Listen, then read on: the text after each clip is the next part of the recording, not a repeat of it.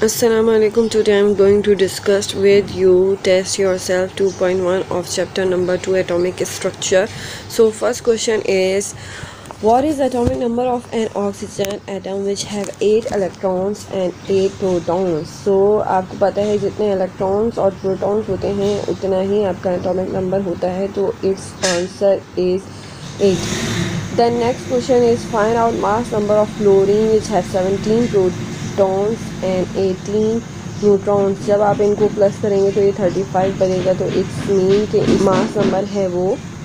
Thirty five है, ठीक है? Then third question is how many electrons protons and neutrons are present in cobalt so it's answer is electron twenty seven proton twenty seven and neutrons is thirty two Now, the last question is, do you know any element which have no neutron in its atom? बताइए, कोई ऐसा element जिसके पास कोई भी neutron ना हो। तो hydrogen element जो है, उसके थ्री आइसोटोप्स हैं, जिनमें से फ़र्स्ट है protium then deuterium and then tritium so first